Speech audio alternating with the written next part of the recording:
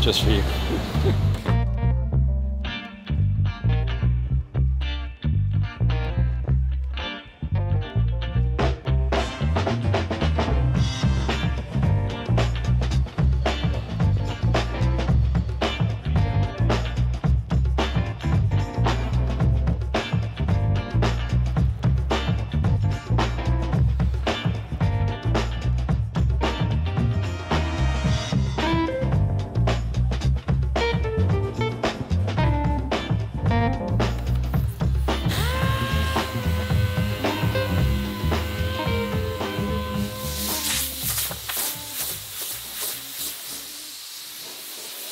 Okay guys, this is gonna be a tutorial on how to make a part from our DIY large carbon fiber composites kit that you can find on industrygarage.com. Okay, so now we're gonna go over everything that comes in the kit. So for the large kit, you'll get five yards of 3K 2x2 twill carbon fiber. This is probably the most commonly used carbon fiber, one of the best weave patterns in my opinion. Uh, most of the 240Z is made out of this. Um, you're gonna get the System 2000 laminating epoxy resin and a uh, thing of the 2060 60 minute epoxy cure. That means it has a 60 minute pot life, which gives you more than actual 60 minutes of working with it, but um, that'll give you the most time to mess with this, un unless you went with something crazy, but it's plenty of time. You're gonna get a roller with a bunch of polyester rolling sleeves. It's gonna come with a ton of gloves, more than you need, and a ton of brushes, more than you need in two different sizes. A, uh, one of these rollers to help get air bubbles out, a bunch of squeegees. It's cool having like the different versions of like ways to apply the resin available to everyone because some people might really like the roller. Some people might just like brushing on only. Or I mean, I really like squeegeeing, but they're good for different times also, but you can kind of get a feel for how you like to apply stuff. Make sure they do the crazy glue trick with the brushes. Yes, we'll go over that again in a minute. But um, it also comes with their gallon mixing kit, which is everything here, all these cups, these mixing sticks, different measuring things. Um, and then everything you need to release your mold, AKA your hood, whatever part you use. Uh, so we're looking at PVA release film, and the Partall paste. Okay, so what are we making today? We're gonna remake Xavier's S2000 hood. It's a fairly easy part. It's pretty flat. So what I've done so far is just sanded the whole top with 1000 grit. You can see there were some like little like uh, dirt nubs in the paint and other small stuff. It's not super necessary, but I figured I'd get them down. It takes two seconds to sand this thing with 1000. It's a flat hood and we're just gonna make the outside shell of it. So we're gonna do four layers of carbon fiber, 3K, two by two twill, and that should be plenty. And then we're gonna cut the skin off and use the bottom section of the actual aluminum hood, because this is aluminum, and bond that to the carbon fiber outer skin. What we're gonna start with though is uh, Partall paste. So you'll have a, this exact same size container and you wanna just uh, apply the wax and buff it pretty much right off. If you're doing a part this big, you wanna wait at least 30 seconds, so by the time you get to the other side, it's been at least 30 seconds. Set a layer of wax on, then buff it off. You wanna continue that four times. So you have four layers of wax built on, and then the final one, you make sure you buff it off pretty well. You can go a little liberal at first with the wax and then kind of uh, stop doing as much later. But.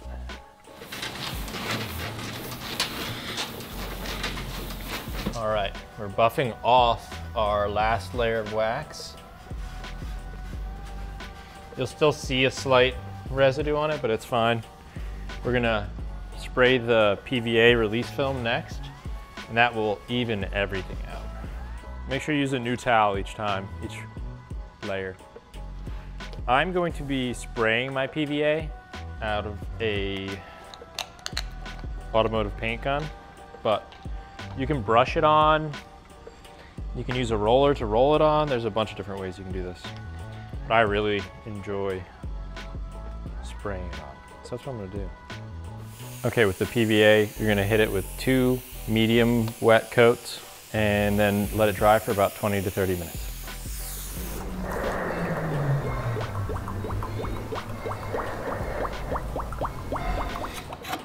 It's supposed to be behind the scenes. I really feel like Speed Racer with these white gloves. He's going over that cliff. All right, so it's been about 30 minutes. Our PVA is completely dry, and now we're gonna move on to the carbon. There are multiple ways to lay down your first layer of carbon. You can lay down a layer of epoxy first and lay the carbon on top of that. You can lay down the carbon first, put the epoxy on top of that. Whatever way you wanna go. It's a little easier to make your weave perfect. Um, if you're gonna make the, the inside of this part is gonna be seen. So that's gonna be the part that's sitting against the outside of the current hood. So what we're gonna do is we're gonna make sure the first layer is perfect. We want the weave to be straight, not any wobbly weirdness. We're gonna go ahead and uh, measure out our carbon first, lay it down, and we're gonna start mixing some System 2000 and 2060 hardener.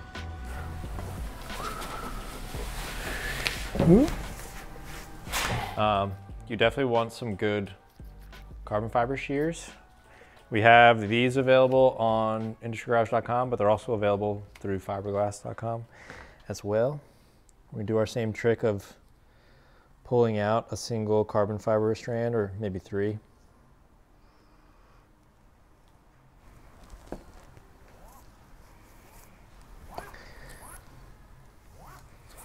That gives you a straight line. Well, it doesn't look straight for us, but it's straight for the uh, actual weave of the carbon. Some nice audio. Let me get closer.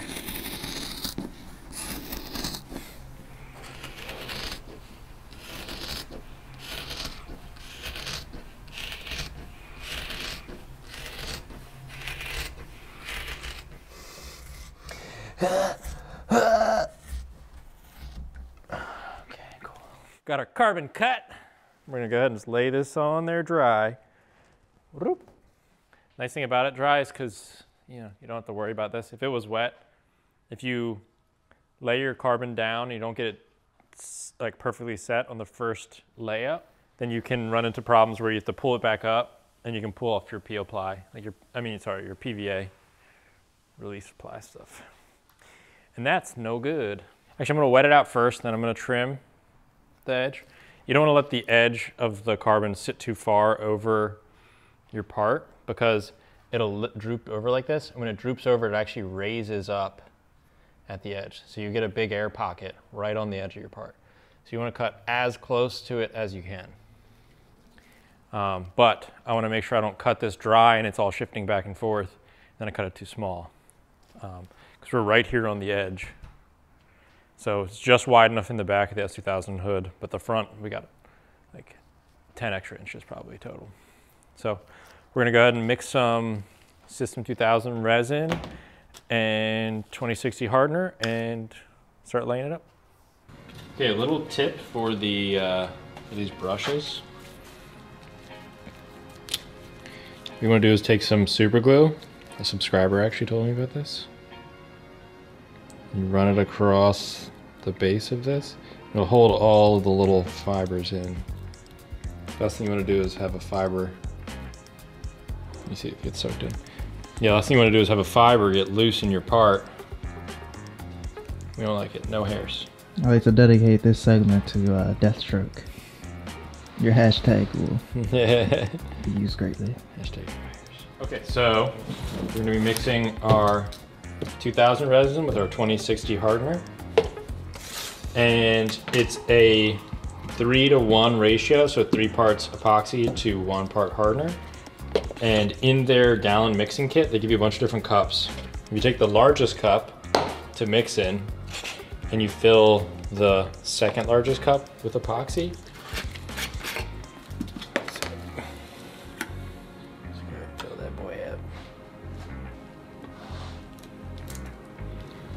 Fill up the largest cup with epoxy, and fill up the cup that has the green lid with the hardener.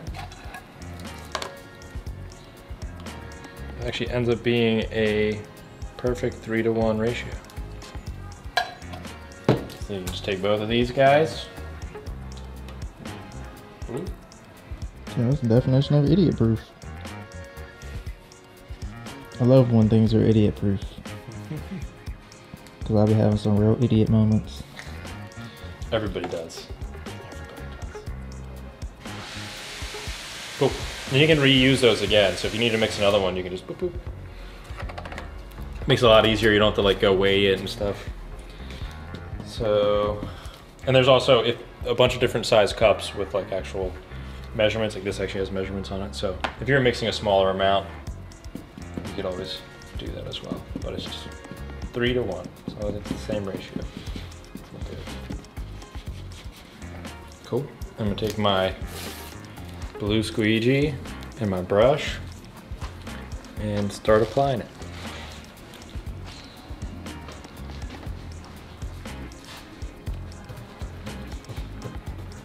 I'm gonna tack down a spot by putting some resin on it to keep it still. Um, and since we're putting the carbon onto the part dry, we want to make sure that we really squeeze it all through. So I'm gonna definitely hit everything with the squeegee, get all the air bubbles out of the back half of it.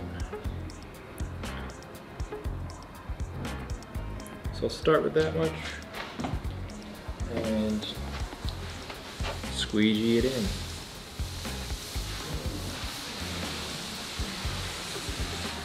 And then once we get to the end and we get it all covered, then we will uh, trim the outside of the carbon so it all matches. Work your way from the center out. Definitely helps. If you go from the outside in, you can get some air bubbles trapped inside. Trees are pretty easy to press out, but it's always easier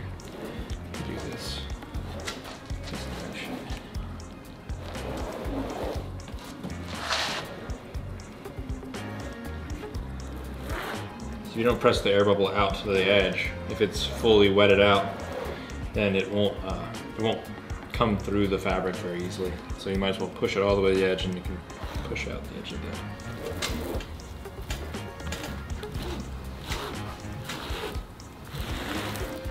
You can already see when I go over this this edge right here.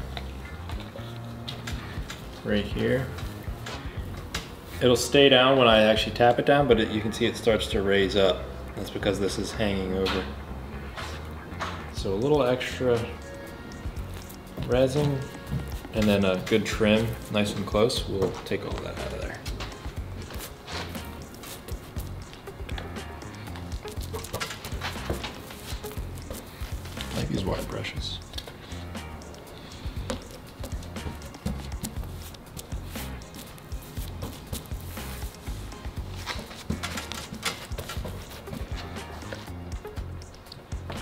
Like he's just a professional professional.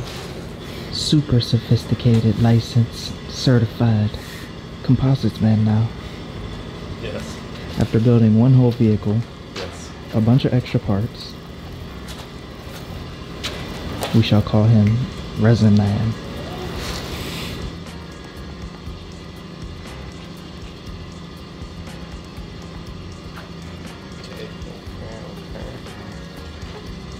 All right, so I'm gonna cut pretty close to the edge. Um, it's not a great idea to cut wet fabric with your nice carbon fiber uh, scissors, but if you uh, if you wipe them down with like some lacquer thinner, mineral spirits, or paint thinner, or whatever, after you're done, they're fine. Just make sure you don't forget to do. That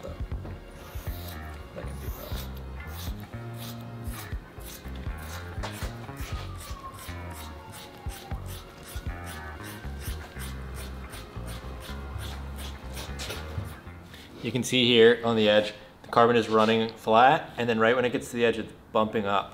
That's from this dangling carbon. So if mm. you cut it and then smooth it back down again, and it doesn't have any resin, I mean any carbon excess weighing it down, it'll actually lay flat. So it's kind of odd that it bunches up like that, but cut it off and you're good.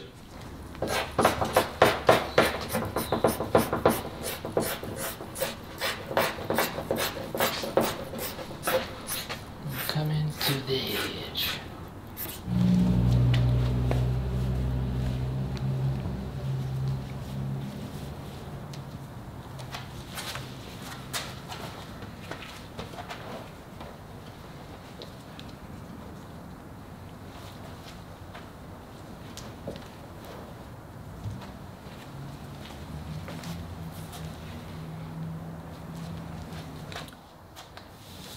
And on this, this second layer, the weave is going 90 degrees different than the last one. The last one, the layer was going this direction.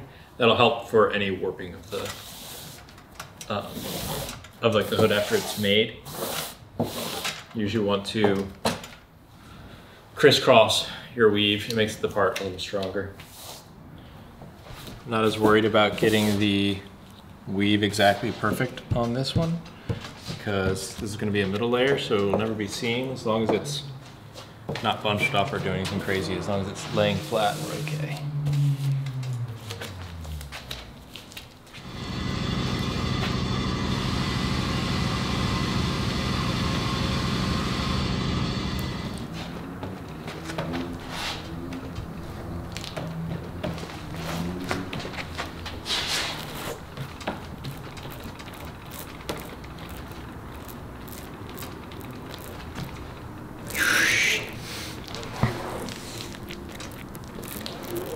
Get drippy. Evenly disperse this extra resin I got with the roller. It's very satisfying actually.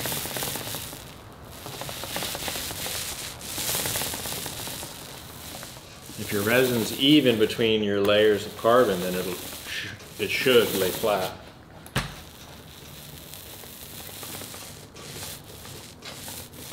You don't really want some of your part to be more resin rich than others either, so. So now all of that wavy resin is now dispersed evenly.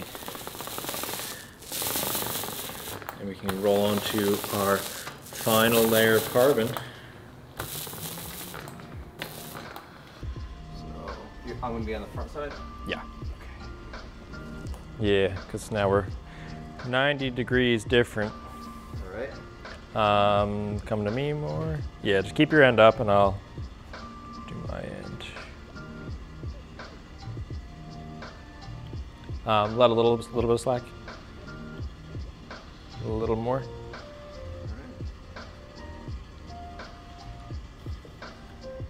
Cool. Thank you, sir.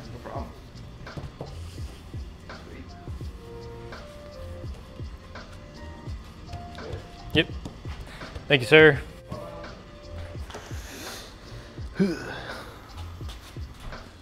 All right, so we have the final layer of carbon on. Um, I'm going to squeegee this one and and then go back with just the brush and make sure it's got a lot of resin. It's a little resin rich on the top layer. Um, this is Xavier's hood for his car that we're repainting right now. And we're actually gonna end up painting this, but for this project, we're gonna make it look as good as possible. We're gonna leave some accents though. I Yeah. don't know how, but We're gonna leave some carbon. And the inside will be all carbon too. So when you open the hood, you see that. it'll be humble baller status. Exactly. Humble baller. I think the most exciting part from this for me is not getting any more dents. So as I'm squeegeeing this, more tips. Um, the roller is very nice to use in the middle layers. I wouldn't use it on the first or final layer, just because it uh, it gives off a little bit of fuzz from the roller. Not much, but um, like you probably wouldn't even see it in the part. But just in case, I would only use it on the middle layers of your layup. The, I mean, you, you can, Xavier and I were talking, like, if you're trying to get lint off of a roller when you're painting, you can always roll it on some duct tape or something like that, and try to get some of the little lint babies off. And they all have their, their pluses, like the squeegee will get all of the air out, make sure it's really, really tight, but, um, but it doesn't leave a lot of resin on. And the brush leaves a lot of resin on, but it doesn't get it very tight. And the squeegee's like right in the middle. But the squeegee also is the best for getting it really even. You can get it even with a, um, I'm talking about the squeegee. The brush, the roller is the best for getting it even. Luckily the kit gives you all of the tools you need. Just make sure you use them the right application. You'll be good to go. Um, also, as you're laying it up, I don't know, you might have noticed we laid up uh, we have two layers that where the weave is going this direction and two layers where the weave is going this direction. You can see the weave is like the carbon darker line kind of follows that pattern. Um, it'll be a 45 and you can even do a zero degree where you cut the part um, to the side, but this part's too long. We'd have to have an intersection of like two different uh, layers of carbon, which could create a problem. So for this, um, just intersecting them is more than enough. Keeps the part real stiff. Otherwise, if they're all going the same direction, it'll want to it'll want to bend in one direction more than the other. It'll be stiff this way and bend that way.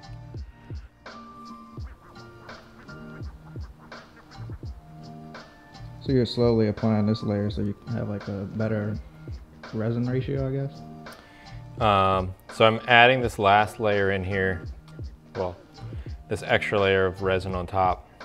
Now that I've squeegeed everything out, made it all flat, to uh,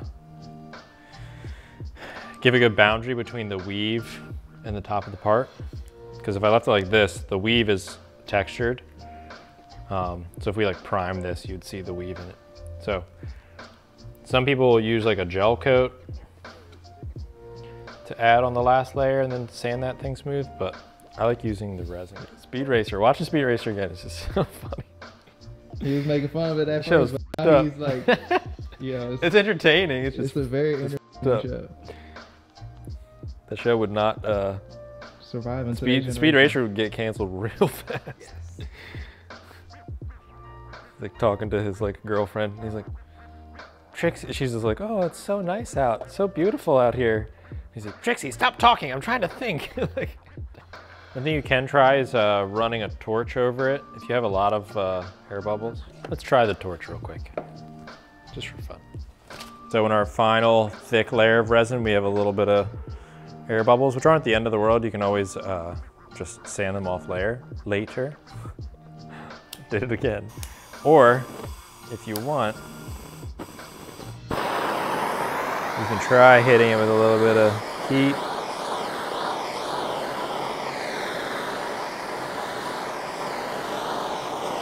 It'll bring them all up to the surface, hopefully pop them.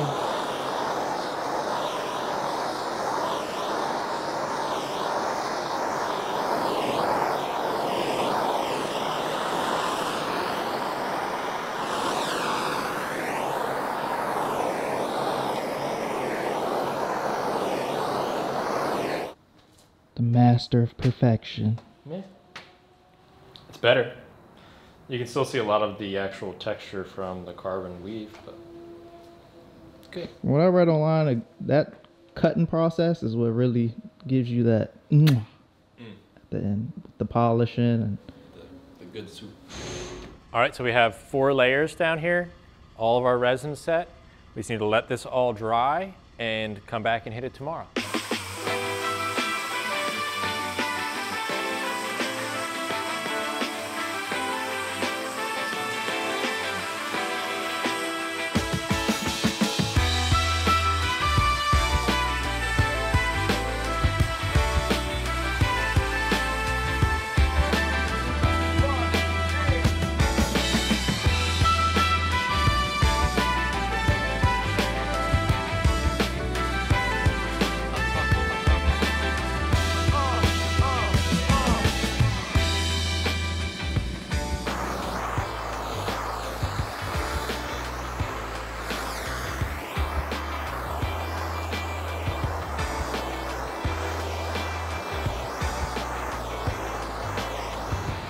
Today's a big day.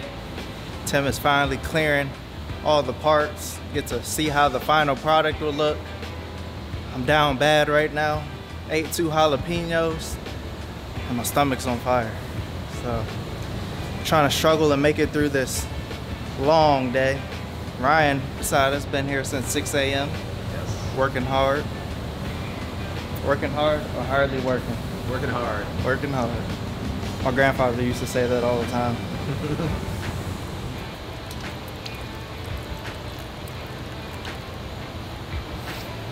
Just for you.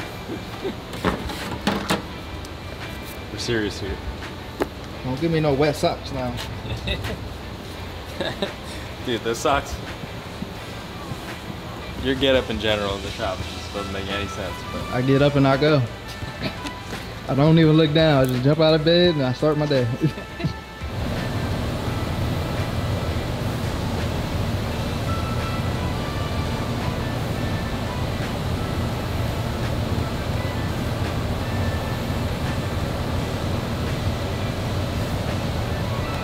our hood is looking perfect. But how did we get here from where we were? So we let it sit overnight and dry completely. Sanded it with 80 grit. Then we hit it with another layer of resin. Let that dry overnight. And then we sanded that with 80 grit again. And then stepped it up from 80 to 120 grit to 180 grit to 320. And then prepped it for paint. Clear coated it three times. And this is the finished product. Good gloss for you guys. Even though we like satin clear, Like I said, we're the matte boys, but yeah, we're matte, yeah. But I mean, it does look cool having a gloss. We actually we did a pretty good job of laying our weave straight. yeah, Um, but so now you have so now we have an outside shell of carbon fiber. So where do we go from here? The inside is uh, we taped it down so it wouldn't fly away. It's fairly easy to release. Yeah. Um, so the inside looks good. We're probably gonna matte clear the inside of this because we like matte. In the next video on this hood, we're gonna grind around the outside and actually bond this to the old shell.